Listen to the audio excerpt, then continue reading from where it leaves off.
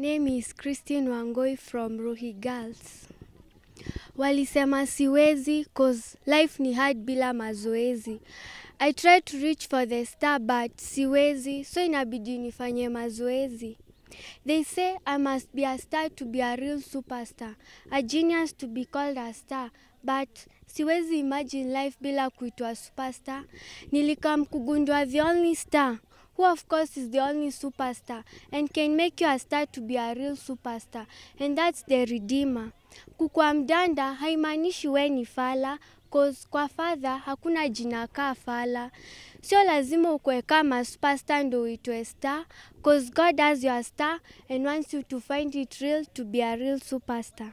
Eti tangu nizaliwe nimeishi kujitegemea and with God by my side sijawahi egemea cause amenitoa faa kulingana na penye nimefika so far, na siyo ni testimony kwa Father. He is the giver. Mbona usimshow prayer zako na is the receiver? Cheki, shida zangu ziko kando, na si kwa God yo ni bravo, na si God alitembea juu ya maji. Hebu imagine akitembea kwako it- itakuwaje?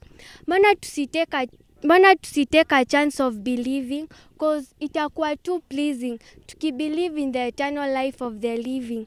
I might sound fishy but niko fiti. I think i'm done